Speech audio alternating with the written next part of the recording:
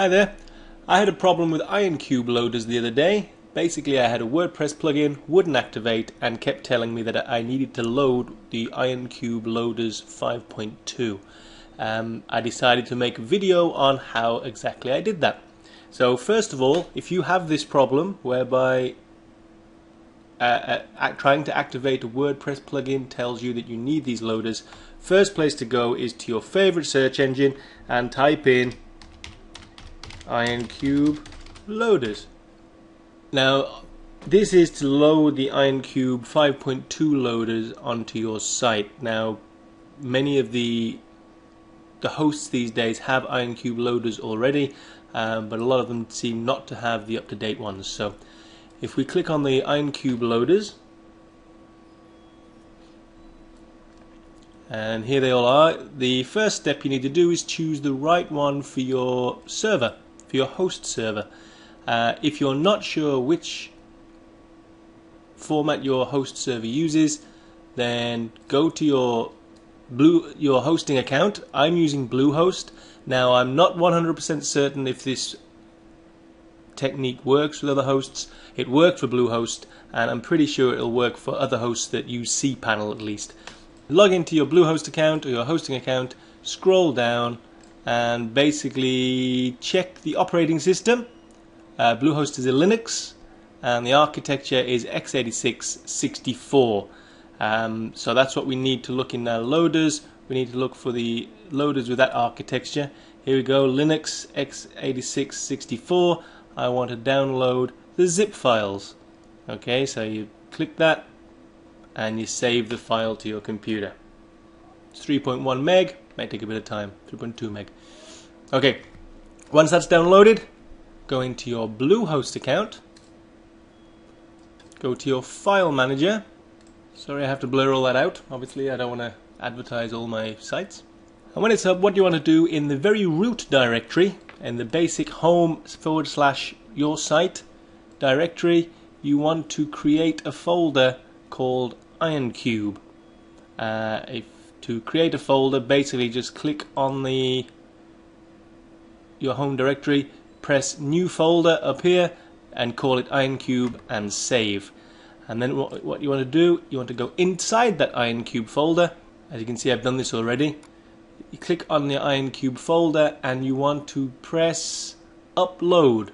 Before you do that, you need to check the download from the IonCube loaders and basically you need to extract that file. If you have WinZip or WinRAR, you need to extract this IonCube loaders file to somewhere. Let's put it on the desktop. Okay, so if you go to the desktop now, you will see IonCube folder and you have all these files. Now the only ones we want are 5.2. You can add 5.3 if you want, I haven't come across anything that requires 5.3 yet, but 5.2 is the one I was having problems with, so these are the ones I have to upload to my Bluehost account. I presume the other ones are already available for Bluehost. So now I know where those are. I go into my file manager, I click upload, leave the permissions as they are, browse to your desktop or wherever you've put the, the IonCube folder find the IonCube folder and click on one of the 5.2 files. You need to upload them both. So if you do it the first time, do that one, press open and it will start to upload automatically to your file and then do the same again for the second file. So basically you're just uploading those two files to your newly created IonCube folder on your server. So what you end up with is this.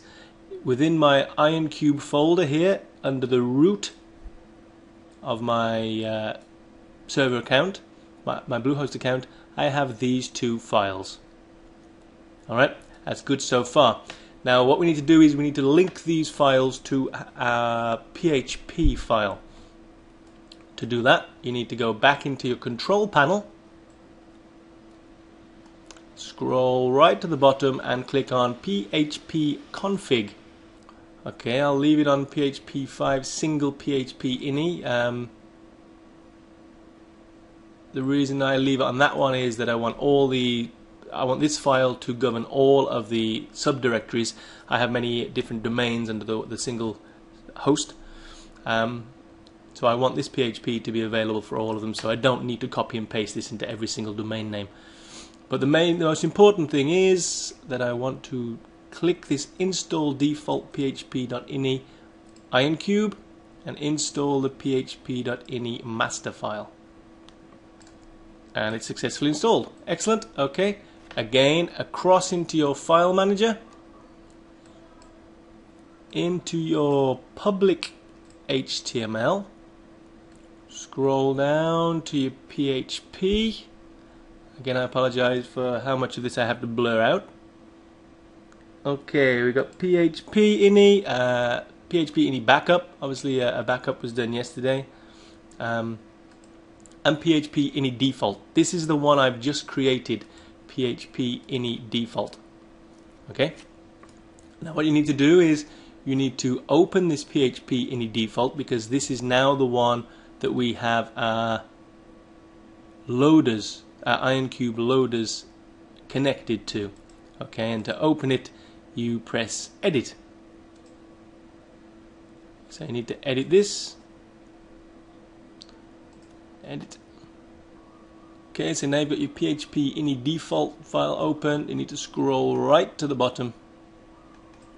And you'll see here, these are the, uh, the IonCube modules that Bluehost already has.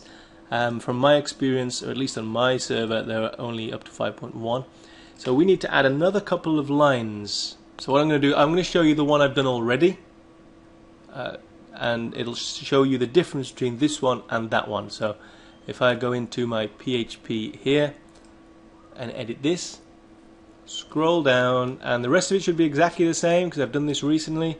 But you'll notice that I now have these two lines here. Okay, the, the other one, just these two, the PHP modules Zend Optimizer and IonCube Loader.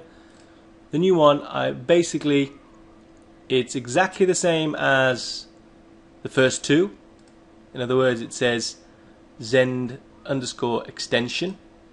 But instead of the USR lib64 PHP file uh, folder address, it has the the address of where I put my IonCube files.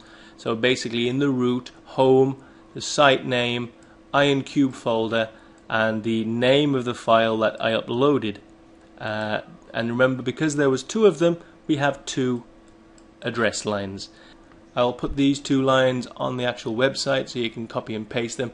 And all you need to do is copy and paste that into there, save it, and then final step because you've just done that into your php.ini default you need to delete your php.ini and then change the name of php.ini.default rename to php.ini and save. Okay and once you've done that this file now becomes the php.ini it now has the the files, the IonCube loaders that up, have been uploaded to your IonCube directory linked to the PHP ini file. Okay, these are the two files that we've just uh, linked in that PHP ini file. So all I need to do, copy and paste that from my website into the PHP ini.default and save it as php.ini. And once you've done that, just refresh it all, reload it all, and you should have no problems activating your new WordPress plugin. I hope that wasn't too quick. I hope that wasn't too complicated. Thanks for watching.